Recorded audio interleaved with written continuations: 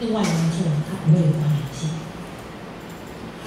就是我的 GPA 表现是，我的 motivation 跟我的 GPA 的相的的关系的表现，并不会因为我表现的好，我下一个就表现的不好。我不并不会因为我下一个表现的好，下一个就要表现的好，没有这个关联性的存在。好，这个叫 independent。However，有的时候这个 independent 不太可能会被打破，可能会被打破。什么情况下会被打破呢？它有可能会发生两种方式。第一种方式就是时间上的相关性，它叫做 temporal autocorrelation。那另外一种叫做地区上的相关性，空间上的 spatial autocorrelation。什么意思呢？假设我现在要做的是时间跟一个人情绪的关联性，然后他的情绪，你觉得他第一天很生气，第二天他的情绪跟第一天情绪有没有关系？第二天跟第三天的情绪，第三天跟第四天的情绪，第四天跟第五天的情绪会不会有关系性？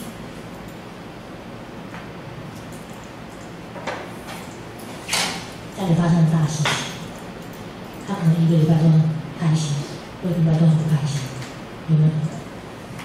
那虽然他情绪会改变，可能会从很开心慢慢慢到平静，或不开心慢慢到平静，可是这件事情会因为时间点比较近，它的关联性比较强，对不对？我们称这个叫做 temporal correlation，时间上的自我相关、自体相关。那另外还有一种例子叫做空间上的自体相关，比如说住在同一个社区里面，从这个社区开始往外扩散，这个社区的受精多，学生的家庭经验环境跟他的学习环境可能会比较类似，对吧？比如说你市中心的表现，那你慢慢慢慢市区，从中心点往外扩散，你会发现，哎。其实住得近的学生，他们的学业表现或是他们的一些特质、心理特质可能会比较相近。如果有这个情况，那叫做 spatial correlation，空间上的相关、具体相关。所以其实有的时候你收的资料，假设你是时空有关系的，时间或是空间有关系，很容易产生 auto correlation 啊，我们称之叫 auto correlation。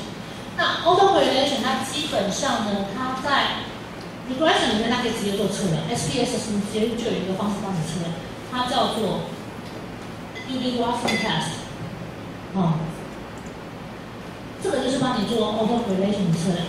那 auto correlation 它怎么测量？它其实就是测量是我的 receiver 跟我前一个人的 receiver 的差异的大小，好，然后把它做平均。那一般认为，如果是 auto correlation 在二左右是 OK 的，那大于二跟小于二太多都不好。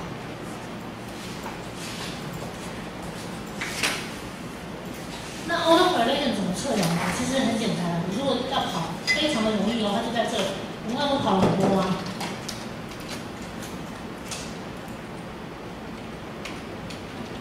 左下角看到？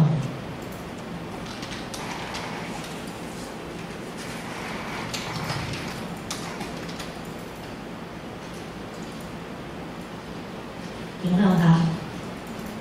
我基本上只要勾选它。然后在我的回归里面，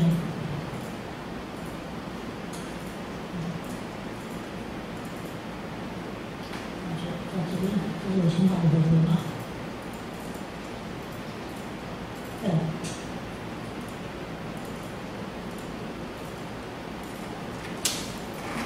就出来了，有没有看到？这个 P D 挖什么开始指出来？哎，它这个左右是比较好的。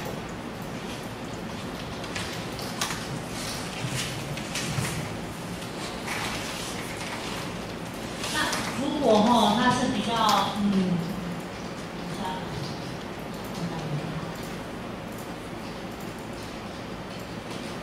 这边跟你讲说，一般是二比较好。那如果这只是小于二，那表示它有 positive autocorrelation，然后大于二，那表示有 negative autocorrelation，什么意思？就是小，如果它是小于二的话，很小于二很多，那表示它是有正相关。那如果是大于二的话，表示它有负相关。就随着这个时空，如果时空正相关表示时空越近，那它的关联性越强；负相关表示时空越近，它的关联性越弱，是大概这个意思。那我现在表演一件事你，帮我看一下我这个指示多少好不好？点一八三五，对不对？看完了哈，我来做一件事情，再跑一次给你看，完全没有动过的东西，我再跑一次。请问这数值是多少？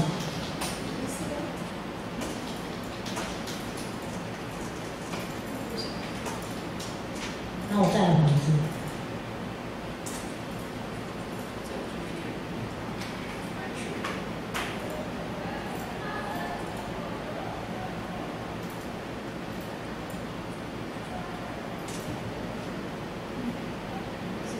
你们看到，每次考都不一样，为什么会这样？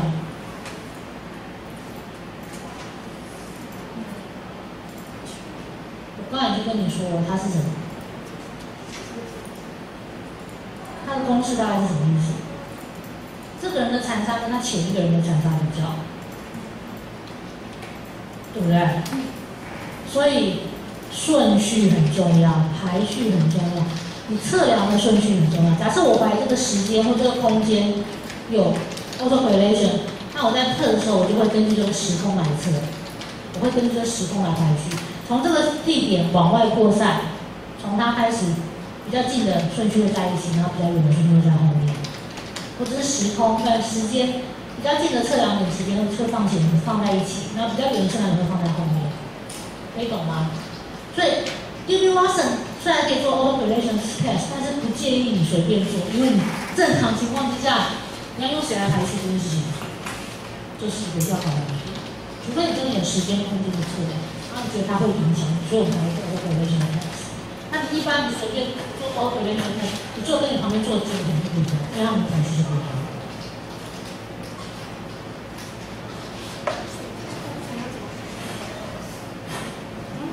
测量时间点，测量对，或者时间点或者是空间的远近的时候，你才能使用这个东西。你一般你们一般也就可能比较少用，可是假设你是测量，比如说偏向从从什么地方开始，然后到什么地方，那个距离点，那也许你可能要做这样的才有关系。那一般像你收集资料，我一般是跟你说，我希望是随机收集的，那个情况下就比较少。这边相比程序也要有一个可以去分，比如说一是几十，十中间二十，它是每一个测量都有都会有数字。就是假设我第一个测量，第一个法律层面，第二个法律层面，第三个，他们的排序会是依据他们的负的负的排序，或者他们因为我测量的时间。所以这个时候距离就要比远，所以你来多多少？从哪边周期开始出发，会有这个问题。那时间点从这个点开始往后或者往前推算，可以懂这意思吗？但一般你们正常就是我们刚刚做的研究，假设你是就是抽学校啊，那你随机抽啊，或者是怎么样抽啊，一般我们都比较不会有那个距离跟时空的问题存在。那只是让你知道说，有的人会用这个方式来做 auto correlation 的 test，那他的研究通常是可能跟时空有关系的，才会比较做这样的测验。这个不会考你们，也不会，那你们大概使用的几率也非常少。那只是你在看片的时候，也许你有看到的时候，你会大概知道要什么干就可以了。这是 D Watson 的一个 test，它主要做的一个工作。那其实我们说二嘛，二以上，二以下。那其实如果你真的想要知道确切的 D Watson 它的数值啊，它其实我放网大上有一个 table，就是你会根据那个 table 来查。你的样本数有多少，然后你的自由度是多少，然后那个数值的决断值那时候，就像你查表 S table 跟 T table 的一个概念。那应该使用率也很低啊，只是你要有这个想，大概知道说对对蛙现在在做什么。要人家随便跟你说 auto correlation 一下，好，它其实是有这个意义，通常是在时间或是空间上的一个具体相关。你记住好了。来，什么是有母数程这个题目还记得吗？parametric 跟 non-parametric。我们所谓的在统计上说有母数统计，那表示我们这个统计方法它很着重你的样的跟母群的一个分配方式。通常它都要符合常态分配，大部分时候，对不对？所以 t-test 啊、NOVA 这些我们都有一个常态性奖励，记得吗？那无母数通常对于你的样本的分配项，就是它是不是属于常态分配这件事情是配的？最常听到是开 square，对不对？好，回归它就是有母数，所以它其实有一个假定在 normal distribution，你的资料基本上符合常态性的假定。啊，所以你的第一分配，你其实要符合一个常态性的分配，ID 是也是需要，但是通常通常这里有跟你讲一个事情就是，当你的样本数是属于中大样本的时候，几百个人的时候，你如果 violate the assumption of normality，其实是不会那么严重的。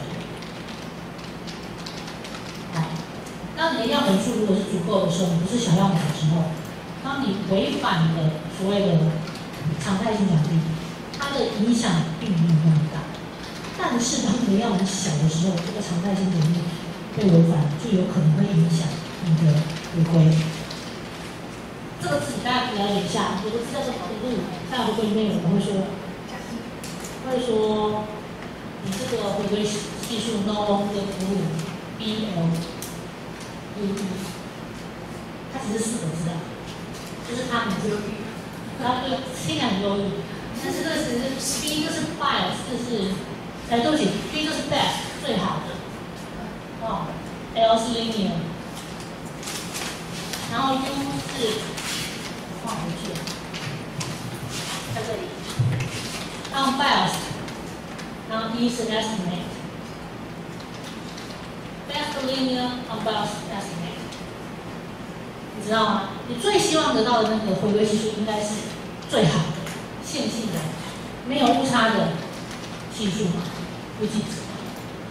但是当你违反了一些假定的时候，违反一些假定的时候，当你数很小的时候，你的 S 你的回归选就是 no longer 就是它不再是最好的，不再是线性的，不再是没有误差的测量数值了。这只是帮助你在看一些配合的时候可能会看到一点，在回归里面会常出现。